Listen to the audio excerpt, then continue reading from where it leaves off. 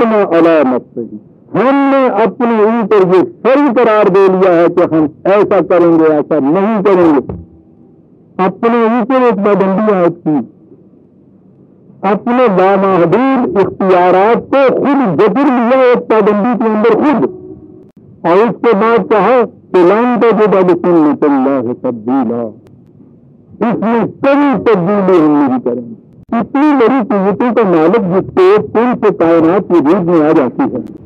वो कहता, हमने खुद अपनी ऊपर पाबंदी आज की। और फिर वो ऐसी आज की कि हम इसमें कभी तब्दीली नहीं होगी। इसे खुदा बनने का हक लाम इंतहा कीमतों के बावजूद इतनी बड़ी पाबंदी कि जिसके खिलाफ वर्जी कभी नहीं करता। दुनिया में अजीजा नाम शिकायत लेने का हक इससे है। कि जितने अख्तियार वसी होते जाए, उतनी पाबंदियाँ अपने ऊपर आयद करता चला जाए और खुद कभी इस पाबंदी की खिलाफ वर्जी न करे। ये है खुदा की सिफत में रंगा हुआ हक ये कानून की शिकायत होगी। और कानून की अतायत वो होती है कि जिसके बाद फिर उनमें ला यजदी कड़ी देती हरा जन मिलना सजा उसकी अतायत में दिल के अंदर भी आदमी गिरानी महसूस नहीं करता। प्यास लगती है ना? एक हुक्म होता है ना अंदर का। हुक्म नहीं होता, तकाजा होता है। कानून है ये। तो प्यास लगे तो पानी से प्यास बुझती है। इस तरह आप उसकी अतायत करते हैं। कभी इस अतायत को गिरानी महसूस की है आपने? तो क्या नसीबे पैसा पानी पीना पड़ता है? शुक्र करती है कि पानी मिल गया है। कानून की अतायत इंसान के अंदरूनी कल्ब का तकाजा होता है। और इसकी अतायत करता है तो इस कल को इतमान हासिल होता है। हुक्म की अतायत इस्तेबाद की अतायत होती है जो ऊपर से इसके ऊपर नाफिज की जाती है। जबरन मजबूर न कभी अतायत तो करता है, दिल के अंदर सरकशी के जज्बात बताए होते चले जाते हैं। जितनी ज़्यादा हुक्म की अता शुक्रिया। हुक्म की अतायत कराई जाएगी, इसका रद्द अमल किसी दिन सरकशी में निकलेगा। कानून की अतायत करते चले जाएँगे, हर फर्द के अपने अंदरूनी तकाजे पूरे होते चले जाएँगे। और फिर अर्ज़ कर कि जिस तरह से खुदा ने एक मॉडल हमारे सामने पेश कर दिया, अपनी जात का नाम इंतहा पीड़ितों के बावजूद, इतना पाबंद अपनी आयद करता हुआ कानून का कि कभी खिलाफ वर्जी नहीं करता। इसी तरह से ये निज़ाम भी इंसानों का इसी सूरत में काम रह सकेगा। कि जितनी ज़्यादा जितनी ज़्यादा इख्तियार इकतदार उतनी सख्त पाबंदियाँ अपने ऊपर आज की हुई ये चीज़ होगी तो जिस तरह से सिलसिला कायनात नहायत हुस्न नजम से चल रहा है।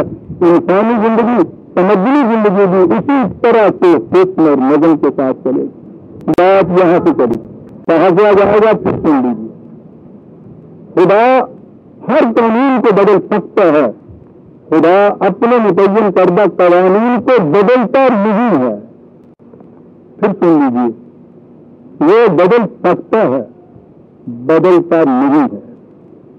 और उसके इस कानून को न बदलने का जो इसने अपना अहद ले रखा है, ये नए इंसानी के लिए कुरान के अल्फाज में ये क्या है? ये जाने क्या बातें कुरान कहा जाता है एक मुस्तरद हाथी की अटाय पर हुकूमत को पहले सामने रखी।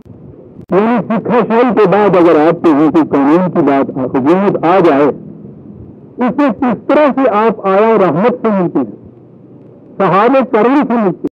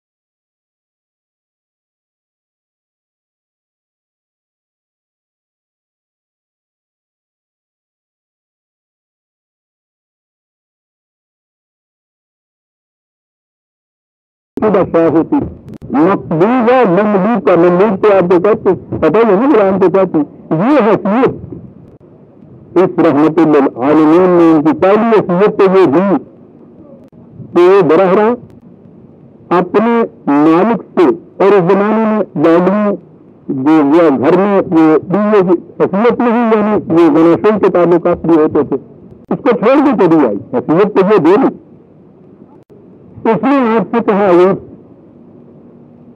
तो रूठ के चली आई है, आप सिफारिश कर लीजिए देखा ये ईरानी के आका और मालिक जो थे, ईरान अभी घरों में मौजूद है वो नीत में कितनी बड़ी तब्दीली पैदा हो रही है।